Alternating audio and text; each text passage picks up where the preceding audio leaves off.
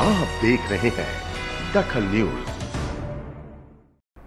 नमस्कार मैं हूँ शेफाली। आप देख रहे हैं दखल न्यूज़। दखल न्यूज़ में आज खास बातचीत के लिए हमारे साथ स्टूडियो में मौजूद हैं पंडित अरविंद तिवारी जी। पंडित जी आपका बहुत बहुत स्वागत है। दखल न्यूज़ के सभी दर्शकों को पंडित अरविंद तिवारी का बहुत बहुत नमस्कार। करवा चौथ सुहागनों का उपवास पति की लंबी आयु की कामना चाँद की पूजा चौथ माता की पूजा। कैसे करें? क्या करें और क्या ना करें? राशिवार आज हम पंडित जी से बात करने वाले हैं। पंडित जी से सबसे पहले हम जानेंगे कि करवा चौथ क्यों मनाया जाता है। देखिए, बड़ा सुंदर सा जैसा कि आप, हम सभी नाम से जानते हैं, करवा और चौथ। अर्थात कार्तिक मास के कृष्ण पक्ष की जो चतुर्थी है, उसको हम करक चतुर्थी के नाम से जानते हैं। और जैसा कि हम सभी जानते हैं कि नाम करवा अक्षर से पड़ा। तो एक जो महिला थी जिन्होंने सबसे पहली बार इस व्रत को मनाया, हालाँकि वो व्रत उससे पहले भी चलता रहा, लेकिन एक ऐसी अद्भुत घटना घटी जिसके बाद से इस व्रत को उनके नाम से जाना, जाने लगा। क्योंकि चतुर्थी को, का व्रत था, इसलिए इस व्रत को करवा चौथ के नाम से मनाया जाने लगा। छोटी सी कहानी सुना देता हूँ आपको। सात भाइयों की एक बहन थी जिसका नाम था करवा, और ये घटना सतयुग की बताई जाती है कि सतयुग में ये घटना घटी थी। सात भाइयों की बहुत प्रिय बहन और बहुत छोटी सी बहन थी तो भाइयों ने उसकी विवाह इस प्रकार से कराया कि जामा था, यानी उनका जो जमाई है, वो उनके साथ ही रहा। पहली बार चूँकि चतुर्थी का व्रत था, चतुर्थी का व्रत रखा, लेकिन बहुत कोमल सी बहन थी उनकी और उस बहन की कोमलता के चलते वो भाई घबरा गए कि ऐसा ना हो कि शाम तक इसको भोजन ना मिले और कहीं इसकी मृत्यु ना हो। तो भाइयों ने घबरा कर चूँकि ये व्रत चंद्रमा को देखकर खोला जाता था, शाम होते होते उनकी बहन की स्थिति थोड़ी सी कमज़ोर होने लगी, क्योंकि दिन भर की भूखी प्यासी थी। बेहोश होकर, निढाल होकर वो गिर पड़ी। तो भाइयों ने ये निर्णय लिया कि क्यों ना एक ऐसे कृत्रिम चाँद का निर्माण करें, जिसको दिखाकर इसको भोजन करा दिया जाए। तो उन्होंने एक पीपल के पेड़ के नीचे, पीछे उन्होंने अग्नि को इस प्रकार से प्रज्वलित किया और सफ़ेद रंग के कपड़े के पीछे उसको जलाया ताकि दूर से वो चंद्रमा का आकार दिखने लगा।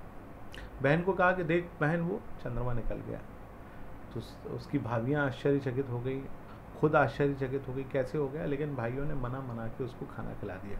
जबकि उसकी सबसे छोटी वाली भाभी, जो कि बहुत पतिव्रता और बहुत ही पूजा पाठ करने वाली विदुषी महिला थी, उसने बार बार कहा कि ये सब गलत है।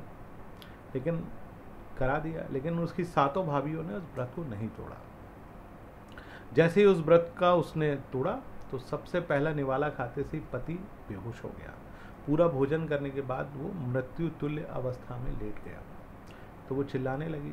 उसी समय आकाशवाणी हुई, क्योंकि अब हमारे यहाँ त्रेता युग, सतयुग और द्वापर युग में आकाशवाणी होती थी। आकाशवाणी का तात्पर्य है कि हमारे जो बड़े बुज़ुर्ग, ऋषि, मुनि, देव, दानव यक्ष गंधर्व होते थे तो वो ऐसी परिस्थितियों में आकर बतला देते थे कि ये अमुक अमुक काम गलत हुआ और उसको कैसे सुधारा जा सकता है।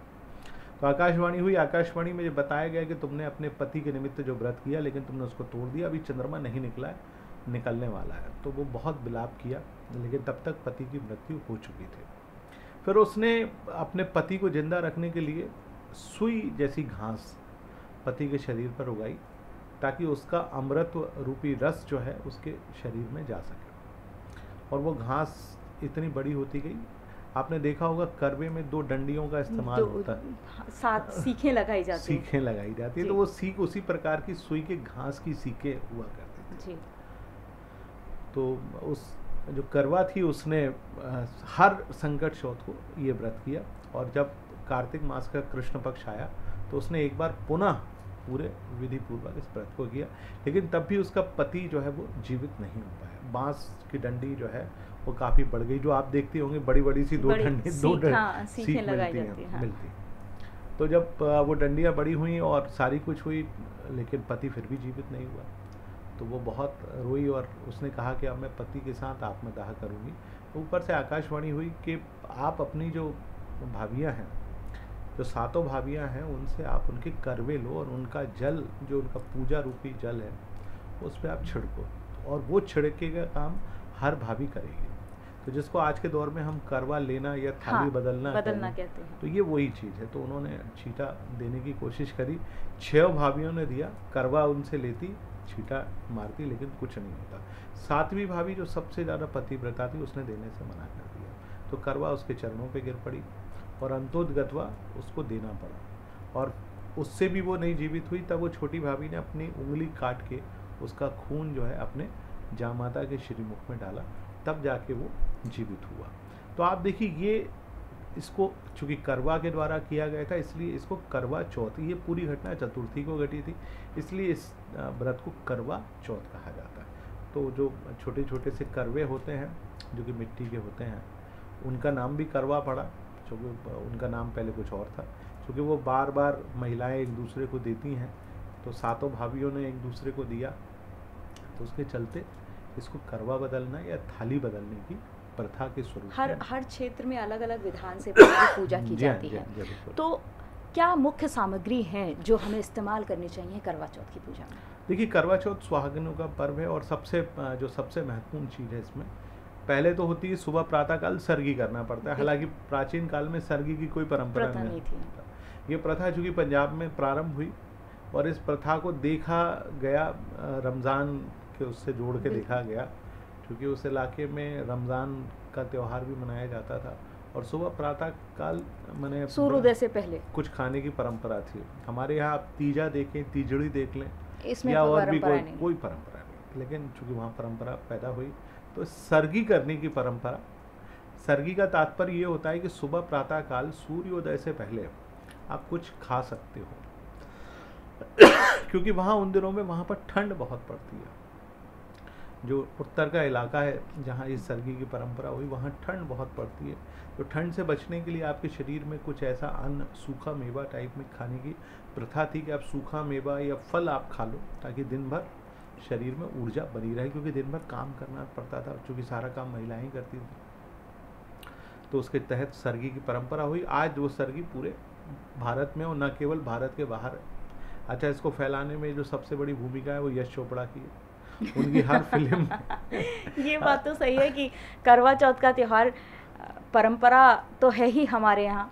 सुहागिन स्त्री अपने पति के लिए व्रत रखती है लेकिन पिक्चरों में जिस तरीके से दिखाया जाता तो वो अट्रैक्शन बन गया है बन लोगों गया। के लिए। थाली की बात हुई थाली में करवा ज़रूरी है सुहाग का सामान ज़रूरी है पूजा पूजा का सही वक्त क्या है?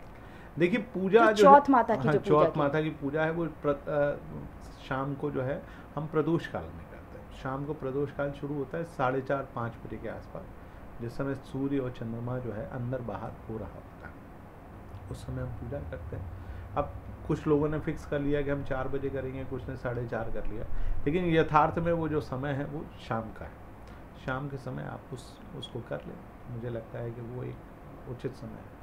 क्योंकि जिस समय सूर्य डूब रहा होता है, चंद्रमा के आगमन का समय होता है, उस समय पूजा एक चीज़ और जैसा कि आपने बताया यश चोपड़ा की पिक्चरों से तो ये चीज़ निकली है लेकिन बड़ा अच्छा लगता है देखने में कि स्त्रियाँ जो हैं वो छन्नी से चाँद की ओर देखती हैं और फिर अपने पति को उसी छन्नी से देखती हैं। देखती हैं। उसके पीछे लॉजिक क्या है? देखिए उसके पीछे लॉजिक ये था आपने जैसे करवा की वो कहानी सुनी उसमें आपने देखा होगा कि चंद्रमा दिखाने के लिए उन्होंने सफ़ेद वस्त्र का इस्तेमाल किया। जी। तो पहले के ज़माने में ये परंपरा थी और चौथ का चंद्रमा के बारे में ये मान्यता है कि जब भी आप उसको नंगी आँखों से देखोगे यानी सीधे देखोगे तो आपके ऊपर आरोप प्रत्यारोप की संख्या बढ़ जाएगी। क्योंकि भगवान गणेश ने चंद्रमा को श्रापित किया था कि जब भी चौथ का चंद्रमा निकलेगा, उस दिन जो भी तुम्हारे दर्शन करेगा तो वो हमेशा परेशान होगा। और इसका नतीजा भगवान कृष्ण ने बहुत बार भुगता क्योंकि उन्होंने बहुत देखा था। जीवन भर आरोप प्रत्यारोप में रहे और अंतोदगतवा उन्होंने फिर पूजा करी। उसके बाद वो आरोप से मुक्त हुए तो चौथ का चंद्रमा जब निकलता है तो उसको नंगी आँखों से नहीं देखा जाता। प्राचीन काल में परंपरा थी कि महिलाएँ अपने पल्लू से साड़ी के पल्लू से देखा करती थी। लेकिन चंद्रमा प्रॉपर तरीके से नहीं दिखता था तो बाद में ये परंपरा बनी कि चूँकि चाँद गोल आकार का होता है और चलनी का आकार भी भी गोल गोल होता है होता है। तो उसको यूँ करके तिरछे मुँह से देखा जाता है। उसको सीधा कभी भी नहीं देखा जाता, लेकिन आप तो महिलाएँ उसको उसी में से देखती हैं। उसमें से केवल उसकी झलक देखी जाती है। और फिर उसको यूँ करके आप अपने पति के श्रीमुख के सामने लेकर आती हैं। तो ये उसकी परंपरा है। मैंने आप ये नहीं कि बिल्कुल सीधा उसको देख रहे हो आप। चौथ के चाँद का दर्शन, ना तो स्त्री, ना पुरुष, कोई भी नहीं कर सकता। और वो आपके ऊपर आरोप प्रत्यारोप बहुत तेज़ी से बढ़ाता है। इसलिए बचना चाहिए। ये बात तो पूजा की हुई। लेकिन स्त्री की जो राशि है जी। कैसे पूजा करे कि पति के लिए वो शुभ हो? तो बात शुरुआत अपन पहली राशि से करते हैं मेष राशि। बिल्कुल मैं मेष राशि की बात कर लेता हूँ। राशि स्वामी मंगल है और आप देखिए इस बार मंगल जो है वो कन्या में है। अर्थात मेष राशि से मंगल छठे भाव में पड़ा हुआ है। छठे भाव का मंगल इस बार बहुत परेशान कर रहा है मेष राशि की महिलाओं को। तो क्या करना चाहिए? मेष राशि की महिलाओं को इस बार लाल रंग की चीज़ों की अधिकता कर लेना चाहिए। यदि आप पीले रंग या अन्य रंगों को पहनते हैं तो आप आज कोशिश करेंगे लाल रंग की साड़ी पूरी तरह से महिलाओं को लाल रंग की साड़ी पहन के हाँ कर लेना चाहिए। पूजा करनी चाहिए। वृष राशि का वृषभ राशि का कैसे करेंगे? वृषभ राशि वाले जातकों को आज नारियल चढ़ाना चाहिए क्योंकि आज करवा चौथ के दिन जो चंद्रमा निकलेगा वो रोहिणी नक्षत्र में निकलेगा। जो वृषभ राशि में उच्च का नक्षत्र माना जाता है ये तीस भी नहीं बल्कि सत्तर वर्षों के बाद ये स्थिति बन रही है जब चंद्रमा रोहिणी नक्षत्र में निकलेगा। नहीं तो हमेशा वो कृतिका नक्षत्र या कृतिका नक्षत्र के तीसरे चरण तक निकलता है तो वृषभ राशि वाले कौन से रंग की साड़ी पहने जो पति को शुभ भी लगे और अच्छी भी लगे? मैं आपको बताऊँ कि उनको साड़ी की बजाय आज एक नारियल का प्रयोग करना चाहिए।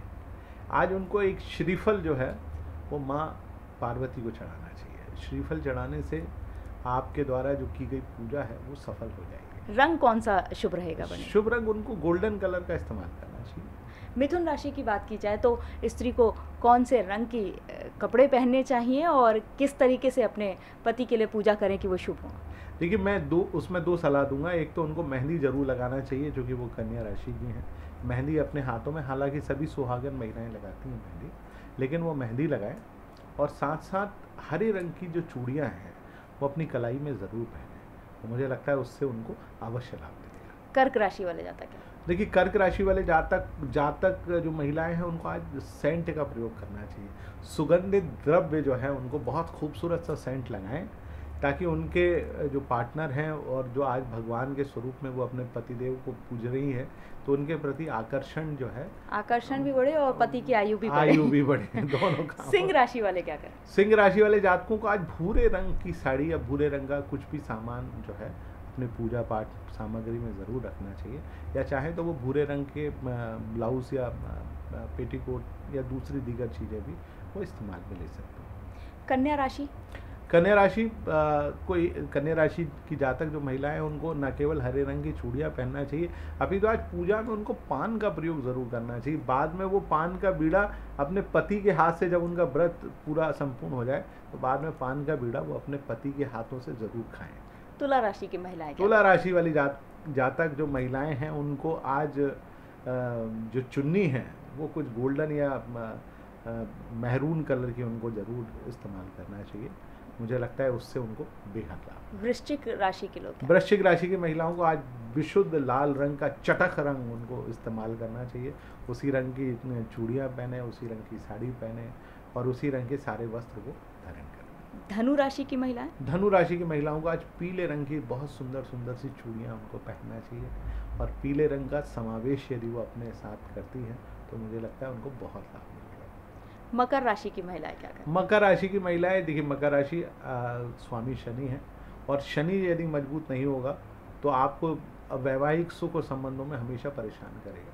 तो आपको क्या करना चाहिए, आज नीले रंग की कम से कम एक चूड़ी ज़रूर पहनना चाहिए और ख़ास तौर से जो मकर राशि की महिलाएँ हैं, उनको राहु को भी प्रसन्न करना चाहिए तो उनको बहुत सुंदर सा आँखों के नीचे काजल भी लगाना चाहिए। तो आज आप काजल लगाएँ। काजल लगा के खूबसूरत भी हाँ, दिखेंगी और पति की आयु भी बढ़ेगी। कुंभ राशि की महिलाएँ क्या कुंभ राशि की महिलाओं को आज जो है सफ़ेद रंग की मिठाई जो है अपने पति को अवश्य खिलाना चाहिए। क्योंकि श्वेत रंग की मिठाई आज रोहिणी नक्षत्र में चंद्रमा है। तो जब वो अपने पति को खिलाएँगी अपना व्रत तोड़ते समय और बाद में पतिदेव उनको खिला दें। तो आनंद ही आनंद? मीन राशि? मीन राशि की महिलाओं को आज केसर का उपयोग करना चाहिए। केसर का तिलक मस्तक आज्ञा चक्र जो हमारा सिंदूर जहाँ हम लगाते हैं जहाँ बिंदी लगाते हैं वहाँ पर हमको केसर का तिलक लगाना चाहिए। केसर का तिलक लगाएँगे तो मुझे लगता है कि बहुत आनंद की प्राप्ति होगी। पंडित जी बहुत आसानी से उपाय बता रहे थे कि किस राशि की महिला को क्या करना चाहिए। और समय ब्रेक का है ब्रेक के बाद जल्द हाजिर होंगे और फिर आगे बताएँगे कि पति की राशि में पति क्या करे? संगीत की स्वर लहरियों से सांस्कृतिक ताने बाने तक चंबल के पीड़ों से नक्सलवादियों के गढ़ तक झोपड़ी से महलों तक ठेलों से मेलों तक पगडंडियों से सड़कों तक गाँव से शहरों तक व्यापार से उद्योगों तक। राजनीति से कूटनीति तक। दखन न्यूज़। आपके हक ब्रेक के बाद आपका स्वागत है। अब जानेंगे पंडित जी से कि किस राशि के पुरुष अपनी पत्नी का व्रत खुलवाने के लिए कौन सी मिठाई खिलाएँ और उपहार में क्या दें। उपहार की बड़ी मान्यता है पंडित जी। ये अब चाहे आप पिक्चरों पे दोष डालिए या पत्नी की इच्छाओं पे लेकिन पति से उपहार मिलने का एक दिन होता है करवा चौथ बिल्कुल सही तो बिल्कुल सही है। हम राशिवार बात करेंगे कि मेष राशि के पुरुषों को अपनी पत्नी को क्या उपहार देना चाहिए और क्या खिलाकर उनका उपवास खुलवाना चाहिए शुरुआत कर लेते हैं सबसे पहले मेष राशि से। यदि मेष राशि के पति हैं तो वो अपनी पत्नी को क्या उपहार दे? देखिए मेष राशि वाले जातकों को अपनी पत्नी को आज उपहार में सबसे पहले तो कोई सुगंधित चीज़ देना चाहिए। उनको सेंट हमेशा देना चाहिए क्योंकि मेष राशि वाले जातकों में एग्रेशन बहुत होता है मंगल की प्रधानता बहुत होती है। तो पत्नी कई मामलों में उनसे बहुत नाराज़ होती है। तो वो उतना प्रेम नहीं दर्शा पाते जितना प्रेम दर्शाना चाहिए। तो मेरा मानना है कि आज उनको कुछ सुगंधित चीज़ सेंट बढ़िया खूबसूरत सा सेंट हो तो उस तरह की कोई चीज़ भेंट करे तो उनकी पत्नी उनसे आज अवश्य प्रसन्न होगी। वृषभ राशि के पति क्या गिफ्ट वृषभ राशि वाले पति बड़े भोले होते हैं बैल राशि होती है समझ नहीं पाता वो एक ही दिशा में आगे बढ़ता है। तो उनको अपने पति को आज सुंदर सी कोई साड़ी दे देना चाहिए क्योंकि साड़ी या वस्त्र से महिला हमेशा प्रसन्न होती है। तो वृषभ राशि वाले जातक जो भी रंग की साड़ी हो, खासतौर से लाल रंग हो, पीला रंग हो, हरा रंग हो पिंक हो तो इस रंग के यदि वो कपड़े देते हैं तो उनकी पत्नी उनसे अवश्य और मिठाई पत्नी की पसंद की खिला देनी मिठाई पत्नी की पसंद की खिला बिल्कुल। मिथुन राशि वाले क्या करें? मिथुन राशि वाले जातकों पर इस समय राहु का बहुत अशुभ गोचर चल रहा है इसलिए वो जो भी काम कर रहे हैं हर काम उनका गलत हो रहा है। तो उनको एक मात्र चाहिए अपनी पति को प्रसन्न पत्नी को प्रसन्न करना है। तो सबसे पहले उनको कोई भी सोने चांदी का उपहार दे देना चाहिए। क्योंकि मुझे लगता है कि महिलाओं को सबसे ज़्यादा प्रसन्नता सोने चांदी के आभूषणों से हो आभूषणों से होते जो आपको अच्छा लगे वो दान कर दे कर्क राशि के पति क्या कर्क राशि में इस समय गुरु का गोचर बहुत शुभ चल रहा है तो कोई भी पीली चीज़ उनको आज अपने पार्टनर को अवश्य दान करना चाहिए और पीले रंग की ही मिठाई उनको खिला देना चाहिए ताकि उनका भी गुरु मज़बूत हो और दोनों के बीच में प्रेम बढ़ सके। सिंह राशि वाले क्या करें? सिंह राशि से इस समय गुरु का गोचर चौथा है और राहु का शुभ प्रभाव चल रहा है, इसलिए वो बहुत सावधानी से काम करें क्योंकि कई मामलों में वो एग्रेसिव हो जाते हैं। तो उनको आज अपने पत्नी को मावे की मिठाई ज़रूर खिलाना चाहिए। और कोई सफ़ेद रंग गोल्डन कलर की कोई ऐसी चीज़, जिसमें पर्स हो या सैंडल हो, इस तरह की कोई चीज़। क्योंकि राहु हमेशा पैरों में वास करता है तो आप चलने से संबंधित कोई चीज़ यदि देते हैं तो पति यदि उस चीज़ को पहनकर चलेंगी पत्नी तो निसंदेह उसका लाभ पति को अवश्य मिलेगा। कन्या राशि कन्या राशि शनि के अशुभ ढहिया में चल रही है और वर्तमान में उसका राशि स्वामी भी गड़बड़ाया हुआ है तो आज आप हरे रंग की कोई चीज़ दे दें अपनी पत्नी को। कोशिश करें कि हरे रंग की साड़ी हरे रंग की चूड़ियाँ हरे रंग की कोई भी सुंदर सी चीज़ आप अपनी पत्नी को अवश्य गिफ्ट में दें वो आपसे अवश्य पसंद होगी। तुला राशि वाले क्या करें? तुला राशि इस समय सबसे शानदार राशि है न राहु है न शनि है कुछ नहीं है। तो आज आप अपनी पत्नी को कोई भी आभूषण या वस्त्र अवश्य दीजिएगा। मुझे लगता है उससे आपकी पत्नी अवश्य पसंद वृश्चिक राशि वाले क्या वृश्चिक राशि वृश्चिक राशि मंगल की राशि है। जैसे मेष राशि वाले जातकों के साथ परेशानी है बहुत स्ट्रेट फॉरवर्ड होते हैं कई बार बहुत तीखा बोलते हैं। तो आपको आज अपनी पत्नी को सौंदर्य प्रसाधन की सामग्री जिसमें नील पॉलिश है जिसमें इत्र है जिसमें बालों का कलर है ब्लीच है या सौंदर्य प्रसाधन से भरा हुआ जो डिब्बा होता है मुझे लगता है वो मतलब पूरा पूरी एक मेकअप किट दे दें तो दे देना चाहिए। पत्नी ज़्यादा खुश हो जाएँगी। बेहद खुश हो जाएँगे धनु राशि वाले क्या करें? धनु राशि वाले जातकों अ, को चूँकि गुरु के स्वामित्व वाली है तो लेखन पढ़न से जुड़ा हुआ जैसे आजकल लैपटॉप है कंप्यूटर है इस तरह की कोई चीज़ ज़रूर अपनी पत्नी को देना चाहिए या किताबों का उपहार भी दे सकते हैं। धार्मिक किताबों का आज प्रचलन है तो ग्रंथ हैं जो भी अच्छा लगे। यदि उनकी पत्नी पढ़ने लिखने वाली है तो देना चाहिए। यदि वो नहीं है उस तरह का कोई विचार मन में नहीं है तो आप उनको एक पीली साड़ी ज़रूर आपको देना चाहिए। पंडित जी मकर राशि वाले क्या करें? मकर राशि वाले बड़े बहुत दुखित हैं क्योंकि कुछ समझ में नहीं आ रहा है मकर राशि वाले जातकों को कि वो क्या करें। ना तो काम चल रहा है ना धंधा चल रहा है कहीं भी नहीं चल रहा है। तो आज उनको अपनी पत्नी को कोई भी चांदी से बनी हुई चीज़ ज़रूर देना चाहिए। चांदी की चम्मच हो चांदी का ग्लास हो चांदी की पायल हो चांदी का कोई भी चांदी की जो चूड़ियाँ होती हैं वो भी आप दे सकते हैं। तो देने से आपकी पत्नी अवश्य प्रसन्न कुंभ राशि वाले कैसे खुश करें अपनी पत्नी? कुंभ राशि बहुत शानदार राशि चल रही है। इस समय कुंभ राशि वाले जातकों के पास कोई कमी नहीं है। तो आप उपहार में जो है उनको बढ़िया साड़ी और सौंदर्य द्रव्य ज़रूर आप उनको प्रदान करें मुझे लगता है। आपसे बेहद प्रसन्न मीन राशि? मीन राशि मीन राशि इस समय बहुत खूबसूरत है और गुरु के स्वामित्व वाली राशि है तो इनको वस्त्र देना चाहिए। मीन राशि वाले जातकों को खास तौर से यदि आपकी पत्नी वाहन चलाती हैं तो उनको आज एक वाहन ज़रूर देना चाहिए। वाहन देने की आप में क्षमता ना हो तो आप उनको कुछ मीठा ज़रूर खिलाइए। यदि आप उनको मीठा खिलाएँगे मीठे का डब्बा जिसमें बहुत सुंदर सुंदर सी मिठाइयाँ हैं उसका एक बढ़िया गिफ्ट बनवा के आप अपनी पत्नी को दें, साथ में उनको वस्त्र भी उपहार के स्वरूप में दें। आपकी पत्नी आपसे बहुत प्रसन्न होगी। पंडित जी पति पत्नी का त्योहार है और आपने बता दिया कि पत्नी की राशि क्या है और वो कैसे अपने पति को खुश करे और पति को बता दिया कि वो पत्नी को कैसे खुश बिल्कुल, रखे। बिल्कुल। तो ये आपसी संबंध बना रहे। आपसी सामंजस्य बना रहे। पत्नियों को भी गिफ्ट मिल जाए और पति की आयु भी बढ़ जाए। ये आपने उपाय बता दिए। पंडित जी एक यहाँ इसमें एक प्रथा भी है कि जो सुहागिन औरत है वो सुहाग का सामान भी दान करना चाहिए। हाँ, हाँ। तो किसको दान करना चाहिए और क्या सामग्री दान करनी चाहिए? देखिए सुहाग में सबसे पहले तो साड़ी है फिर उसके बाद चूड़ी है बिंदी है पायल है मांग का सिंदूर है नेल पॉलिश है इत्र है अ, महावर है जिसको हम आलता भी कहते हैं। तो ये सारी सामग्रियाँ इस साड़ी पर रखकर आप दान करें या तो आप किसी मंदिर की पंडिताइन जी को दे दें। वैसे एक प्रथा ये है कि आप आज के दिन ये सारी चीज़ें धोबिन को देना चाहिए। धोबिन के पास सुहाग का स- वो जाता है लेकिन अब कोई वैसा बचा नहीं ना उस तरह का काम होता है। तो आप बेहतर है कि मंदिर में ही देकर आ जाए। और कोई बड़ा बुज़ुर्ग आपका हो यदि आपकी सास हो तो आप उनको भी दे सकती हैं यदि वो सुहागन है तो। और वो यदि लेने से इनकार ना करें तो उनको ज़रूर देना चाहिए। धोबिन को आपने कहा कि धोबिन को देना चाहिए। इसके पीछे क्या कारण है? देखिए धोबी का काम होता है मैल को साफ़ करना। समाज का सारा मैल साफ़ करने का वो काम करती है। कपड़े धोती है बर्तन धोती है हर तरह की गंदगी को साफ़ करती है।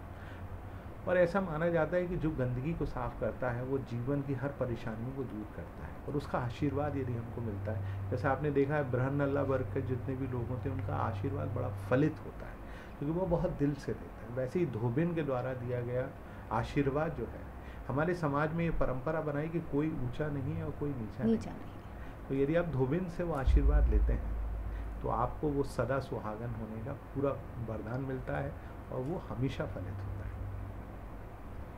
पंडित जी हमको बता रहे थे कि करवा चौथ का उपवास कैसे करें, करवा चौथ की कहानी क्या है, पति पत्नी के लिए क्या करें और पत्नी पति के लिए क्या करें, सुहाग का सामान किसको दान करें? बस यूँ ही छोटी छोटे उपाय से आप व्रत रखें।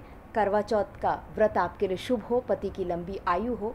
ऐसे ही कुछ खास कार्यक्रम के साथ हम आपके साथ फिर हाजिर होंगे। आप देखते रहिए दखल न्यूज़।